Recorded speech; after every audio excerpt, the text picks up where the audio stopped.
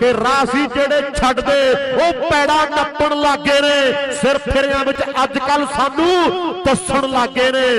ਤੂੰ ਤੂੰ ਆਖਣ ਲੱਗ ਗਏ, ਜਿਹੜੇ ਜੀ ਜੀ ਕਹਿੰਦੇ ਸੀ, ਯਾਰੀਆਂ ਪਰਖਣ ਲੱਗ ਗਏ, ਜਿਹੜੇ ਨਾਂ ਵੀ ਨਹੀਂ ਲੈਂਦੇ ਸੀ, ਦੋ ਅੱਖਰਾਂ ਦੇ ਪਿੰਡ ਮੂਮ ਦੇ ਨਾਂ ਨੂੰ ਲੈ ਲੈ ਕੇ ਨਵੇਂ ਛਲਾਰੂ ਛੇੜਨ ਮੈਨੂੰ ਪਾਰਸ ਕਹਿ ਕਹਿ ਕੇ ਲਾਉਣਾ ਮਗਰੋਂ ਔਖਾ ਹੋਇਆ।